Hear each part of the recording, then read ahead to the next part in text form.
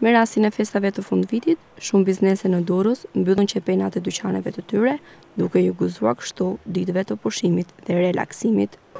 Nëpër sheshe dhe rrugë, kalonin me qindra qytetarë, duke biseduar e shëtitur.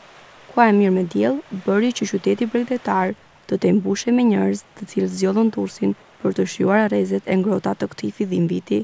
Fundjava për qytetin bregdetar rezultoi me fluks qytetarësh edhe nga qytetet e tjera, kurse këtë fillimjave, qyteti na paraqitet me pak njerëz, pothuajse ka mbetur vetëm ata që jetojnë e punojnë në Durrës.